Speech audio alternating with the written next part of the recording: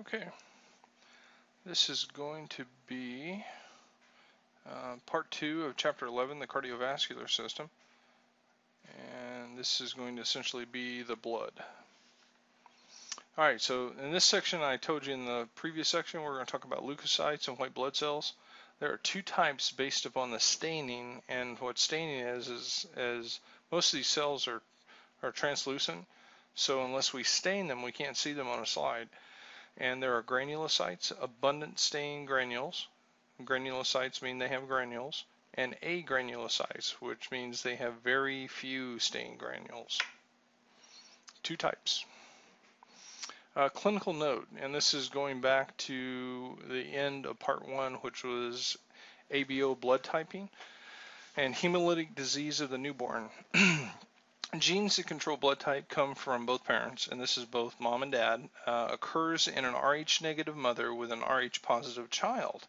Uh, does not occur, usually occur from the first from the first child, mother is sensitized, so they build antibodies, and usually occurs during the second. Now,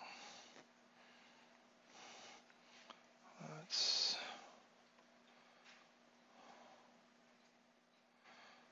let's kind of talk about this here for a second. So I'm going to blank the screen. All right, so you have mom and dad. All right, and mom is RH negative. and dad is RH positive. So example of this, mom could be A negative and dad could be O positive. Their child, let's say that the child is O.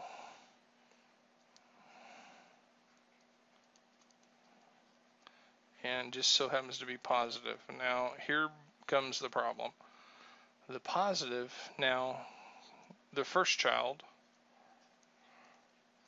will sensitize mom, and mom will make antibodies for Rh positive because her immune system will kind of say, okay, that's a foreign invader. We cannot have positive and negative blood types mixing. So what essentially will occur is is that mom is now sensitized and ready to essentially initiate a fight next time she sees Rh positive blood. Well, second child comes along, and let's say that the second child was AB positive, or A positive,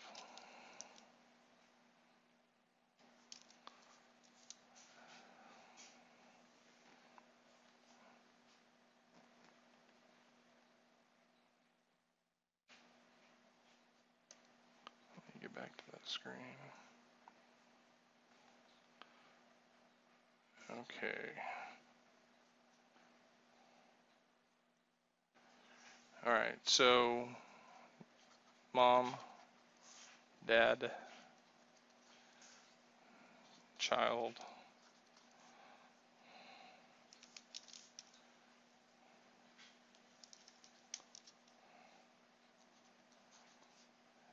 first,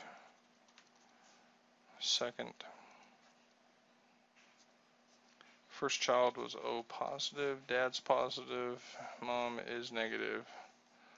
A negative, O positive. Second child was A positive. All right, after the first one, mom became sensitized. So now whenever second child comes along, mom essentially attacks it like it's a foreign pathogen. So she may lose the child in the first trimester.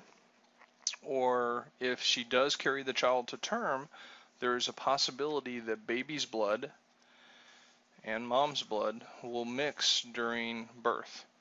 This could cause a hemolytic reaction in both the mom and the new child.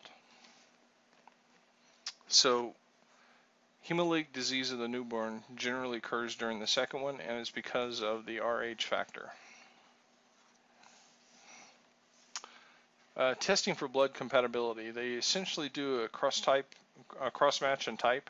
Uh, typing is just off of the ABO. They figure out what blood type you are. And cross match is a, a blood test, mixing drops of the blood with solutions that have anti-A and anti-B. Example, the patient that clumps when exposed to anti-A and anti-B is AB. If no reaction occurs, then the person is zero. If the opposite reaction occurs, then they're the opposite of what example, if you have anti-A and then put A in there, it's going to clump. If you have anti-B and put B in there, it's going to clump. So this is the cross match. Uh, the presence of Rh negative is also noted of Rh if it's negative or positive. Clinical note blood transfusion reactions. Great care is taken to assure correct typing. Hemolytic reactions can occur, and this would be devastating to somebody that's already in a traumatic event. White blood cell circulation and movement. They are compatible. They are capable of amoeboid movement, which means they essentially move uh, from a wave-like fashion. Gliding movement of flow from cytoplasm into cylinder cellular processes extending from the cell. They migrate out of the bloodstream by squeezing through the epithelial cells called diapedesis. Uh, one of the things we're going to learn in the vascular chapter is that the capillaries have can facilitate this very easily. They are essentially flaps of skin and the white blood cells can move in and out of the capillary beds very easily. Uh, attracted to specific chemical stimulation, positive chemotaxis. Uh, so anything that we see in the immune system that would excite macrophagic action or phagocytic action, which means eating action, uh, would essentially excite and bring the white blood cells to them. Uh, neutrophils, eosinophils, and monocytes are capable of phagocytosis, or eating is what that means. Types of white blood cells, there are neutrophils, eosinophils, basophils, monocytes, and lymphocytes. And these are all of them. And if we'll just note here, this is figure 11.8 in your book. Neutrophils are the ones that have the multiple nucleuses. Eosinophils are, they stain essentially red. Basophils stain essentially blue. A monocyte has a, they're, they're bigger, one, and two, they have a gigantic nucleus. This is the nucleus on the monocyte. And then a lymphocyte, which is not much bigger, they're, they're kind of small. They're not much bigger than a white a red blood cell in size, and they have they're mostly nucleus and very little cytoplasm. Uh, neutrophils. First, uh, white blood cell to arrive at the injury site, very phagocytic, which means it's very, it likes to eat everything it comes into contact with.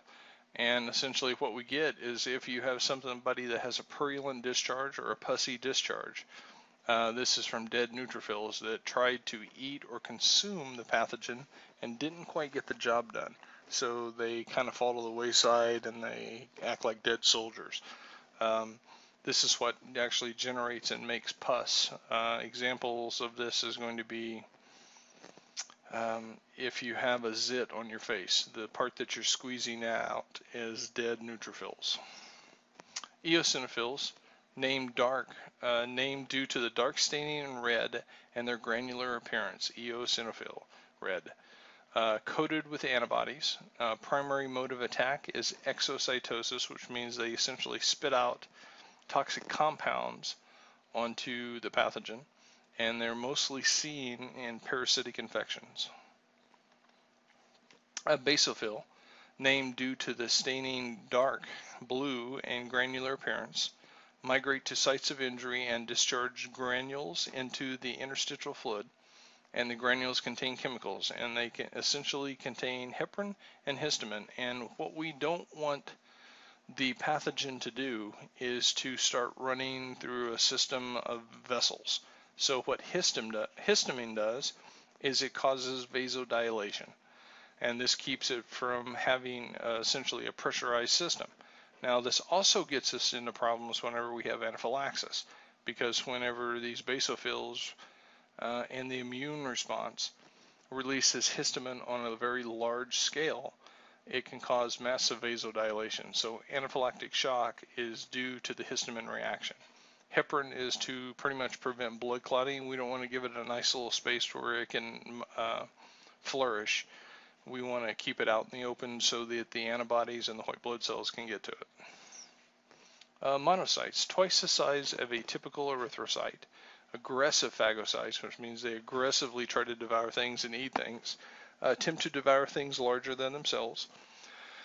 Monocyte uh, chemical signaling attracts neutrophils, monocytes, and other phagocytes and draw fibroblasts to the region. And essentially, this is to uh, ring the dinner bell, if you will. Uh, anything that's phagocytic is going to hear that dinner bell and come uh, and come to the area hungry, essentially. Lymphocytes. Slightly larger than a red blood cell, relatively large nucleus surrounded by a thin halo of cytoplasm. They migrate from the bloodstream to peripheral tissues and back to the bloodstream again, and this is done through diapedesis as well. Uh, they can secrete antibodies, which is awesome, which means that you can easily incite an antibody antigen reaction from uh, the cell.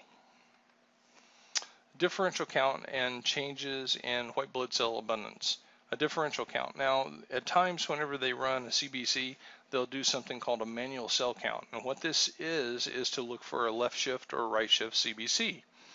A differential count, manual cell count, to assess maturity of the white blood cells and type of infection. Normal ranges on the white blood cells are 6,000 to 9,000.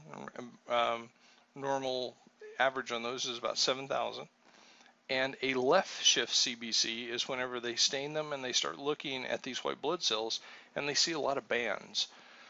So the bands say that your body is kicking out immature white blood cells to fight something that may be out of its out of its league or out of its caliber. The right shift CBC, high monocyte and lymphocyte count, are generally viral in nature. So just by looking at a manual cell count, they can tell if it's an actual virus or if it's a bad bacteria that has pretty much beat up your immune system. There's some more terms down at the bottom. Leukopenia is a low white blood cell count. Leukocytosis is a high white blood cell count. And leukemia, white blood cell counts greater than 100,000. Uh, what happens is, though, is the leukemia cells aren't very good um, they die off very quickly. So you'll spike out a lot of white blood cells. It'll kind of clog things up and do some damage. And then in the same token, the next day, you may have a white cell count of two with leukemia. Uh, segs and bands, and this goes back to the left shift or the right shift CBC. How they tell the difference between them is these are considered segmented. So we have segmented nucleuses in the cell. Same way with here. There they are. And then these right here are immature. These are considered a band because all of the nucleuses are banded together. So this is an immature white blood cell. If we saw a bunch of these, we would think that the patient's immune system is getting beat up. So segs and bands. White blood cell formation hemocytoblasts, which makes lymphoid stem cells, and this goes back to our figure that we were looking at, to where it starts off um, as one cell and then it becomes more specialized. Lymphoid stem cells, which make lymphocytes, myeloid stem cells, which give us the variations, and the variations are going to be basophils, eosinophils, neutrophils, and monocytes, and all of these are white blood cells. Lymphoid stem cells migrate from the bone marrow to the lymphoid tissues. Uh, the lymphoid tissues are going to be the thymus, spleen, and the lymph nodes. Lymphocytes are also produced in these tissues. White blood cell formation. Various hormones are involved in the specific development of white blood cells. White blood cells other than lymphocytes are regulated by hormones called colony stimulating factors, or CSF. Thymosins produced by the thymus pr provide differentiation of lymphocytes and we're going to learn about this more in the immune chapter, but the differentiation is they essentially make T cells for us. Thymosins and the thymus make T cells, another endocrine organ. Uh, platelets, uh, blood banking, blood banking and transfusion. We're going to talk about here. Platelets are pretty much cell fragments, uh, membrane enclosed cytoplasm, and they essentially house clotting factors. Uh, thrombocytes, nucleated platelets, non-human, may refer to humans in some cases. So if you hear thrombocytosis or thrombocytopenia, this is going to be referring to the platelets. Now they do use that term synonymously in medicine. Um, megakaryocytes, large nucleated bone marrow cells, they continuously shed cytoplasm. These cytoplasm packets become platelets in the human body. Thrombocytopenia is a low platelet count, and thrombocytosis is a high platelet count, can exceed 1 million. And the problem with that is, is that you'll clot at anything if you have too many platelets. The problem with thrombocytopenia is, is that you don't have enough clotting factor to survive someone punching you in the arm. So again, thrombocytopenia, low platelet count, thrombocytosis, high platelet count. Clinical note on blood banking and transfusions. Red blood cells live about 120 days. We've talked about that in part one. Plasma contains albumin, fibrogen, and other clotting factors. And cryoprecipitate uh, contains clotting factors, so we can actually skim this off of another person if they donate blood and give the patient just the clotting factors if they're out. Uh, removed from the plasma by freezing and slowly thawing, used in bleeding disorders. And uh, an example of this would be uh, someone with hemophilia may actually get something called cryoprecipitate. Uh, platelets, also called thrombocytes, aid clotting process by adhering to the sides of the vessels and they provide uh, structural support whenever we're trying to build a clot. Um, white blood cells used in non-responsive infection and the help on this by infusing somebody with uh, someone else's white blood cells is kind of unclear. Plasma derivatives, and this is going to be specific factors of the clotting factor, uh, factor 8, factor 9, 10, and so on.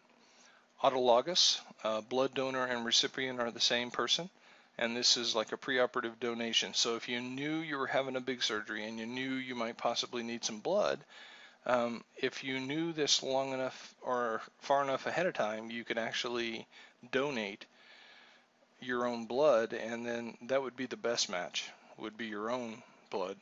And then we have allogenic, blood transfused to someone other than the donor. And that's what most of blood typing and the blood bank is is allogenic. Um, that you someone else donates the blood, it's put into an area, and then it, as it's needed, it's utilized. And to get the appropriate blood, the person would have to be cross-type and matched. hemostasis.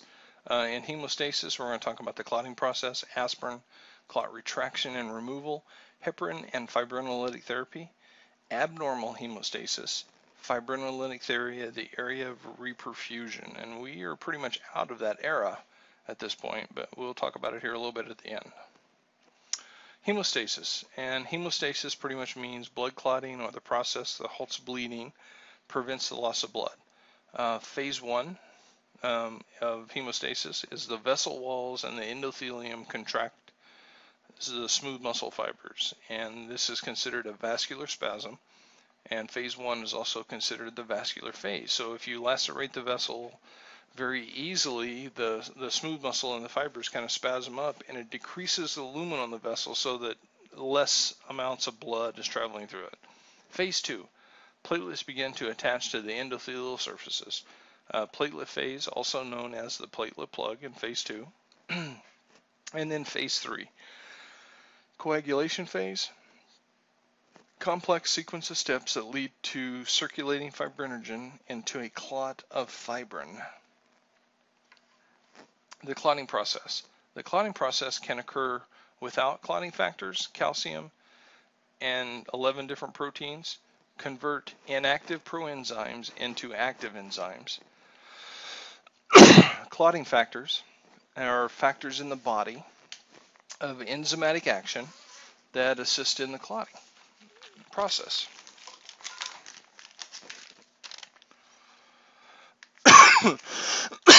and this is figure 1110 in your book. And what we see here is essentially we see platelets, we see fibrin network, which is this is where fibrinogen comes into play is it makes this fibrin network that's through here and we see trapped red blood cells. So it uses this entire pardon me it uses this entire area as pretty much a platelet plug until it can uh, actually repair the tissue that's damaged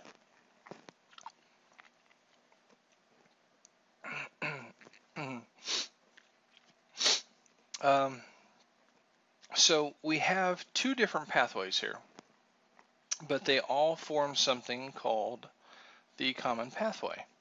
And the common pathway is essentially prothrombin to thrombin, and then the fibrinogen, fibrinogen to fibrin makes a uh, thrombin fibrin polymer that essentially assists this plug in working. So an intrinsic pathway is done by the platelets. Intrinsic is platelets. And an extrinsic pathway is facilitated by tissue damage. Still, we form calcium, clotting factor, factor X is activated. Whenever factor X is activated, or factor 10, we form the common pathway prothrombinase, which makes prothrombin, which leads to thrombin, and this is the actual clot, which fibrinogen then forms fibrin. This would be considered the mortar, and the platelets would essentially be the emergency patch. So again,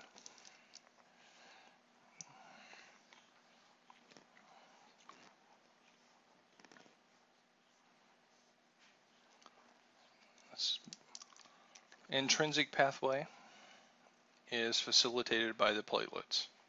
Extrinsic pathway is facilitated by the tissues. They both form the common pathway. Thrombin, if we would think of this whole process as bricks, mortar, and emergency patches, if we're trying to plug a hole and we want a long-term hole, we essentially need bricks, which is the thrombin.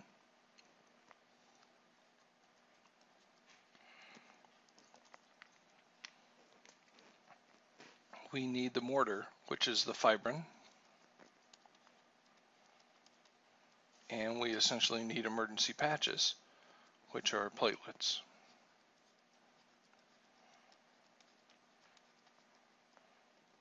These together create this, which is a platelet thrombin fibrin polymer.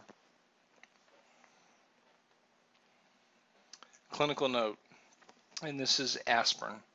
Aspirin inhibits aggregation of platelets. Now, what that means is, is that it stops the platelets from sticking together. We're going to see that aspirin is a non-steroidal anti-inflammatory whenever we get to pharmacology, and it works off a property called thromboxane A2. Now, why that's important is because this is in our inflammation pathway or inflammation cascade. So it produces by it is produced by activating platelets that have prothrombotic properties. It stimulates activation of new platelets as well as it incre increases platelet aggregation. And this is thromboxane A2. This is what it does.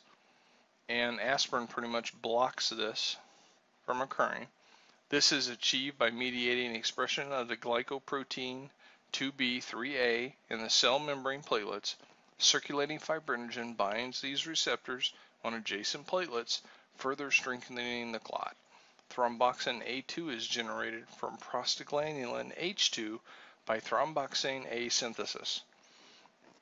Aspirin irreversibly inhibits platelet cyclooxygenase 1, preventing the formation of prostaglandin H2 and therefore thromboxane A2. So whenever we look at this, prostaglandin H2, thromboxane A2. This is what aspirin does. Now, why that's important. This whole pathway formation that we see in here is inflammation. But in that same pathway, we see clotting occurring or the ability to clot because this would be uh, stimulation of I just had an injury and I need inflam inflammation there to bring more cells to repair and I probably have some bleeding. So I'll activate thromboxane A2 to slow down the bleeding so I don't bleed to death. This same pathway is what we fight if someone's having a heart attack. We don't want those platelets sticking and making the clot bigger because that's going to decrease the size of the lumen even more or the size of the pipe. So we attack this and we attack this by giving them aspirin and aspirin essentially makes the platelets less sticky. Intrinsic, extrinsic, and intrinsic in the common pathways. The extrinsic pathway begins with the release of lipoprotein called tissue factor by damaged endothelial cells or tissues. So again, extrinsic got started by the tissues. Intrinsic pathways begins with the activation of proenzymes exposed to collagen fibers at the injury site. This is going to get started by platelets. The common pathway, whether it be extrinsic or in intrinsic, pathway activate factor X, forming prothrombase, converting to prothrombin, and then to thrombin. Prothrombin is a prephase of thrombin. Thrombin activates fibrinogen to fibrin. Calcium in the extrinsic and intrinsic pathways required calcium to form the common pathway. Vitamin K is also important. Adequate amounts are necessary for the liver to synthesize four of the clotting factors. Most of our stuff, uh, example of this heparin, would adjust the ability of your your body to clot by adjusting the amount of vitamin K in your body. Clot retraction and removal. Uh, clot retraction, once fibrin network has appeared, platelets and red blood cells stick to fibrin strands, platelets contract and bring the wound together. Fibrinolysis is pretty much dissolving of the clot. Plasminogen um, perform per, preform of plasmin and plasmin protein. Now, what this is, is this is the ability to break down the clot whenever you form plasmin, anytime that you would form plasmin, the clot will actually break down or dissolve. This is what all of our thrombolytics or our clot busting agents are based on, is the formation of plasmin. Tissue plasminogen activator released by damaged tissue activates plasminogen. Plasmin digests the fibrin strands and breaks down the clot. And that means if we actually put plasminogen into this, this whole clot would essentially dissolve or bust. Again, extrinsic pathway by the tissue, intrinsic pathway pretty much by the platelets. Common pathway, prothrombin to thrombin, fibrinogen to fibrin, platelet, fibrin, thrombus, polymer. Clinical note, heparin and fibrinolytic therapy. Fibrinolytic therapy, things like streptokinase, tissue plasminogen activator, TPA, pretty much dissolve the clot. Anticoagulant therapy, Coumadin and heparin, inhibits the formation of the clot. Antiplatelet therapy inhibit platelet aggregation. So examples of this would be aspirin, Plavix, are two antiplatelet therapy drugs. Uh, anticoagulant would be things like Coumadin and heparin, which would adjust the formation of thrombin. And then fibrinolytic therapy would essentially bust the clot. Uh, we use it currently on strokes. Clinical notes abnormal hemostasis, uh, excessive coagulation, clots form in the circulation rather than the injury site. Um, people that would have too much clotting factor would easily form clots, which could be problematic. It could give them PEs or clog up vessels that would filter the blood. Examples would be the liver or the kidneys. Inadequate coagulation, hemophilia, inadequate production of clotting factor. Now, what this would do is at the first time that you got hit or bruised, this could cause a lethal um, bleeding in your body or a lethal hypovolemic event. Clinical note fibrinolytic therapy and the area of reperfusion. Now, what we used to do before there were so many cath labs was essentially anybody that was having ACS or acute coronary syndromes or chest pain and they were having an active MI, uh, formation of a clot in the coronary artery is what ACS means. So they would actually have a clot in an artery that is perfusing their heart. Now, they what they used to do is they used to initiate clot busters that would essentially dissolve that clot and reperfuse that section of myocardium acute ischemic stroke, formation of a clot in the cerebral arteries, and we still do this. So if we have an acute onset of stroke and it's less than three hours, and we can trace back an accurate time, we may be able to clot bust and reperfuse someone's brain. Uh, another term, DVT, deep vein thrombosis, um, thrombosis in large veins of the body. Now the problem with this is, is as the veins uh, get closer to the heart, they get bigger. So if you have a deep vein thrombosis in your leg and it breaks free, it's probably going to travel through your heart and into your lungs. Uh, that is called a PE, and it can be very deadly. Peripheral arterial occlusion occludes arteries to the tissues. Now, this will cause an asphyxiated limb or a limb that has no uh, pulse or oxygenated blood to it. As far as terms to know, they should be pretty pretty easy. Uh, blood, and that would be the two percentages, the plasma and the actual formed elements. Cardiovascular system, which is the heart and the vessels. Coagulation, common pathway, we just got through talking about it. Embolus, which would be a clot that probably formed in your leg and moved to your lungs. That would be an embolus. Erythrocyte, red blood cell. Fibrin, uh, the actual mortar or the thing that holds the clot together, fibrinolysis, the busting down of the clot, hemocrit, which is a percentage of the formed elements, and 99.9% of those are red blood cells.